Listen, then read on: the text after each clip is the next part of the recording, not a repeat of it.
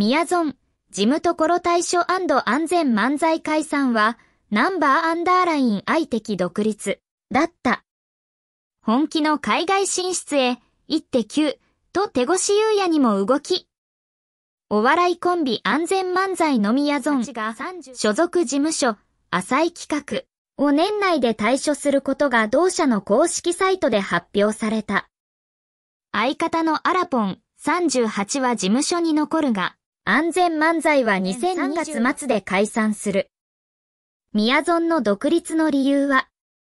宮園本人より会社を離れて自分の力でいろんなことにチャレンジしていきたい、との申し出があり、話し合いを重ねた結果、宮園はフリーで活動していくこととなりました。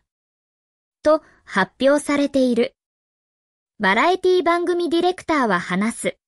したいとコメントしている宮園さんですが、実は海外での活動に挑戦したいと言いますね。2020年にアメリカに移住してすっかりニューヨーカーになった渡辺直美さん36や2016年からロサンゼルスに拠点を移したピースの綾部裕二さん45など海外進出を図る芸人は多い。ウーマンラッシュアワー大輔さん43もアメリカでスタンダップコメディアンになることを目標にしていますよね。事務所に残らず独立を選んだ理由は、旧ジャニーズ事務所、現スマイルアップのキングプリンスの独立騒動に近いところがあるという。キンプリは国内で絶大な人気を誇り、ドラマやバラエティの仕事も絶えませんでしたが、グループの目標である海外進出を果たすことができなかった。そのため、平野翔さん26、神宮寺勇太さん26、岸優太さん28の3人は5月23日にキンプリを脱退して、事務所からも独立、岸のみ9月末退所。滝沢秀明氏41のエンターテインメント会社と流してナンバーアンダーライン愛を結成しましたよね。現事務所にいては、海外進出できないお笑い界で似た話では、渡辺直美の例もある。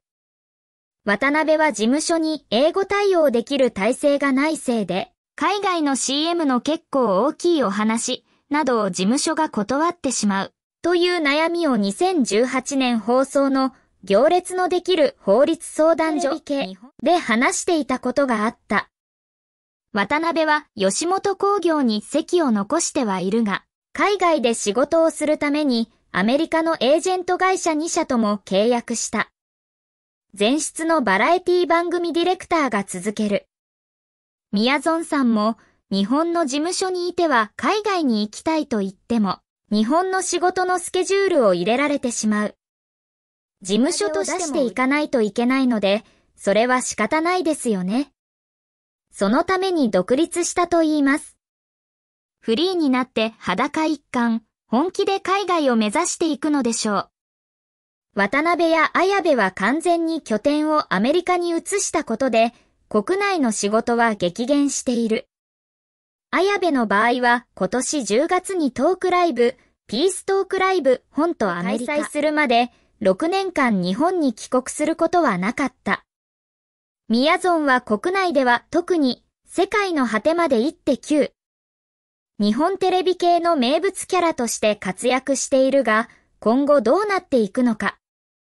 宮園さんは国内仕事を完全に辞めるわけではなく、少なくとも一手9は辞めないだろうと言われていますね。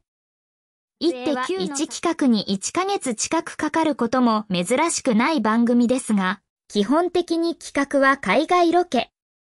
宮園さんの目標である海外進出に通じるところがあります。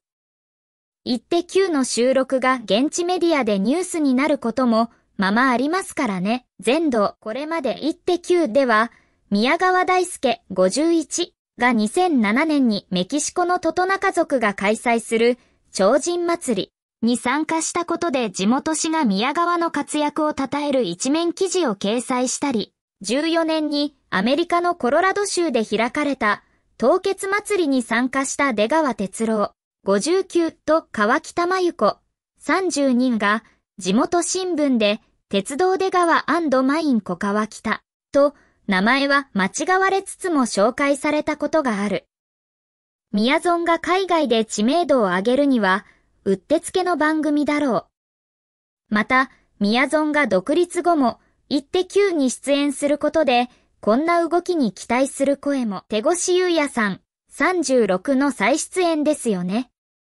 20年6月に旧ジャニーズ事務所、現スマイルアップから独立してイッテ Q も降板した手越さんですが、現在もイッテ Q ファミリーのデヴィ夫人83やイモトアヤコさん37と SNS 上で交流していたり、22年に行われた手越さんのライブツアー、ニューフロンティアでは、イッテ Q の MC うっちゃんなんちゃんの内村照義さん59から祝い花が届いていたり、番組メンバーとの関係は良好です。女性誌編集者。今年9月7日に創業者ジャニー北川氏、去年87事務所が認め帝国が崩壊する前は、やめジャニは民放に出演できない強い空気感があった。そのため、ミヤゾンの独立を受け、ミヤゾン浅い企画やめるんだ。言って9は手越しジャニーズ辞めた時容赦なく首切ってたけどこれでミヤゾン今まで通りならジャニーズ、事務所への忖度。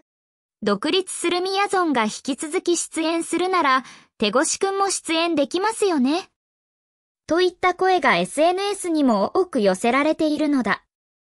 また、手越は3月28日に文春オンラインのインタビューで、未だに言って9のグループ LINE に残っていることを明かし、大輔さん、宮川大輔との時間がかなり濃かったんです。大輔さんとまたどこかで共演するとしたら、やっぱり可能なら、1って9って決めてるんですよ。とコメントしてたことも。手越さんに関しては、ジャニーズ忖度を抜きにしても、大騒動を起こした末の対処ということもあって、オファーを控えていたと言われています。1って9の交番でも、手越さんは対処発表より先にコロナ禍での飲み会が発覚しての芸能活動自粛という経緯がありましたからね。ただ、一手給メンバーとの関係は良好ですし、忖度も消滅した。100%復帰というのはないでしょうが、ワンポイントでの再登場ならあるのではないでしょうか。前出の女性誌編集者。一手給でミヤゾンのギターに合わせて手越がチャラいダンスを披露し、ナレーター、立木文彦に辛辣なツッコミを食らう。そんな光景が近い将来、見られるかも。手越し曰人に聞いても来年2024年と、36歳は運気的にも良いらしい。